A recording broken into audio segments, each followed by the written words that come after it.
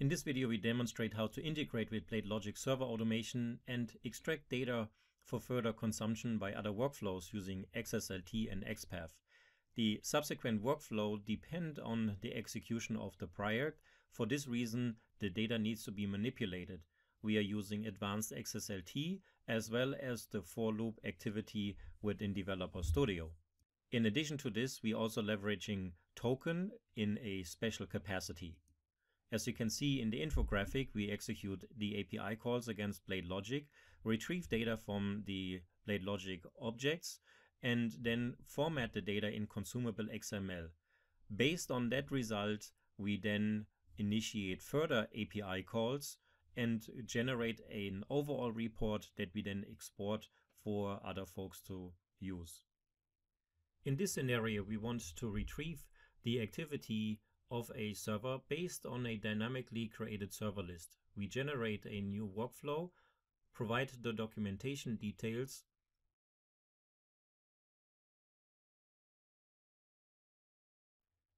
The result of the get server list is going to be the data that drives the subsequent execution of get server activity.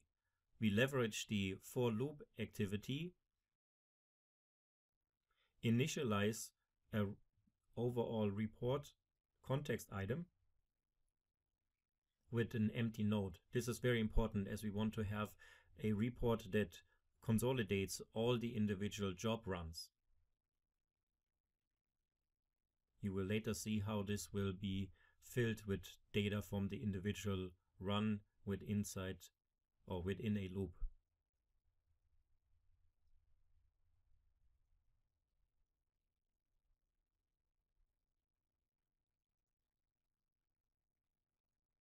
Next, we retrieve the dynamically generated server list. This is the basis for our for loop. And inside the for loop, we execute the workflow get server activity.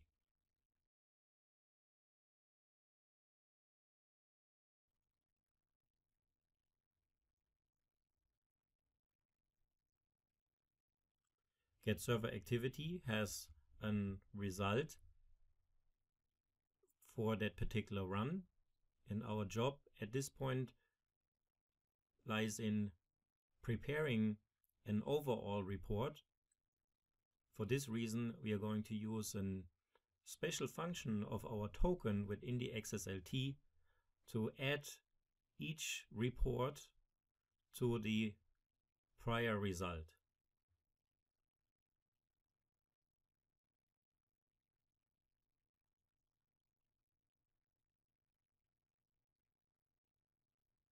We loop through all the items that we retrieve from Blade Logic. We generated this workflow in our prior video. If you want to know how we have done this, review the prior video.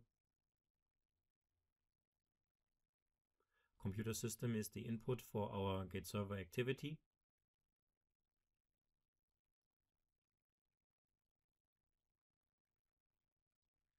And the individual result will now be written in a different context item as I don't want to overwrite the job result or the result from the prior API call. So this is the job result for the individual server. This result needs to be added to the overall job context item that contains information for all the servers. Now here is the advanced transform that we're leveraging. We start off with an empty sample. You see our server list is empty at this point. The token that we add is our job result from the current API call.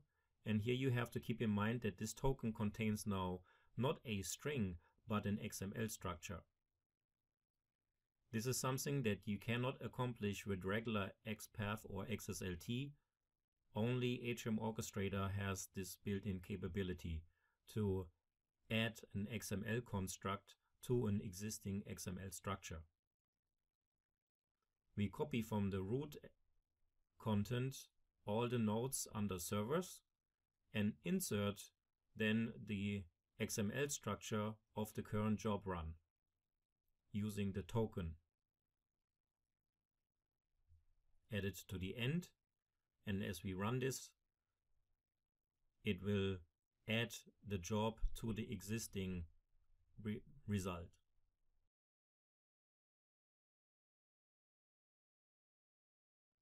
So as we execute the workflow, you see we get the server list. It's a dynamic input for our get server activity.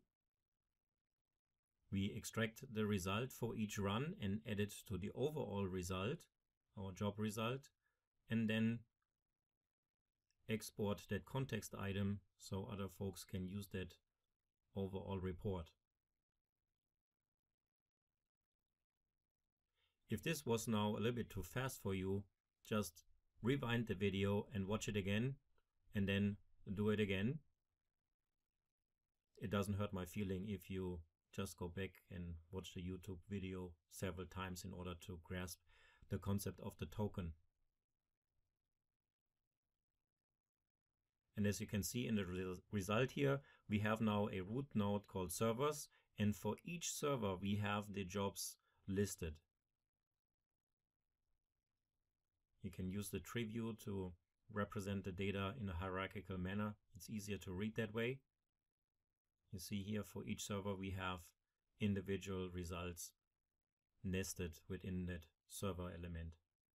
Add this to the output as documentation this is good housekeeping.